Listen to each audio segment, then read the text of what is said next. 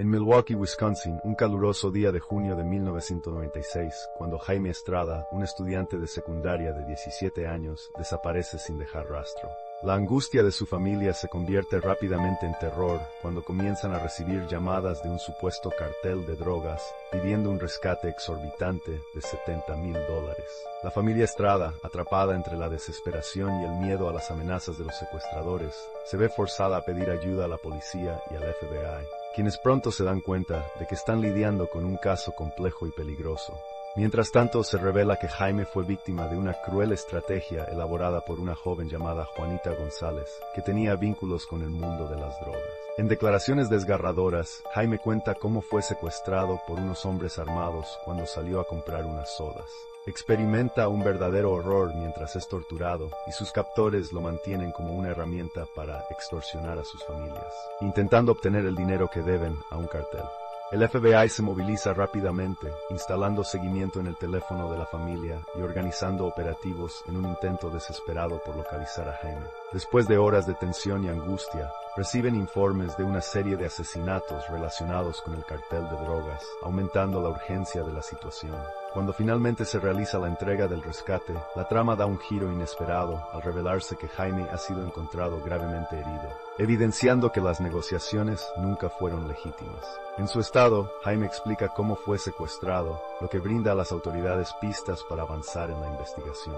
Horas después de ser rescatado, la trágica noticia sobre la condición de Jaime llega a su familia. Su herida de bala se convierte en un problema crítico de salud que lo lleva a múltiples cirugías y a un coma inducido. Luchando por su vida en un hospital, a medida que los investigadores realizan su trabajo, descubren que los secuestradores no solo son responsables del secuestro, sino que están conectados a una red más amplia de actividad criminal y narcotráfico revelando un entramado que involucra a muchas más personas de lo que se pensaba al inicio. Con la colaboración del FBI, la historia toma un giro cuando las autoridades logran identificar y arrestar a varios de los involucrados en el secuestro y asesinato de Jaime. Sin embargo, la búsqueda de justicia no termina ahí, ya que la figura de Beto, uno de los principales sospechosos, sigue siendo un misterio.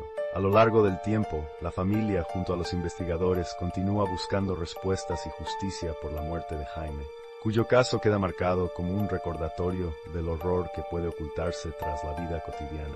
Sin embargo, la comunidad también se une en la lucha contra el narcotráfico, buscando prevenir que estas tragedias se repitan, planteando interrogantes sobre la seguridad de los jóvenes en sus entornos.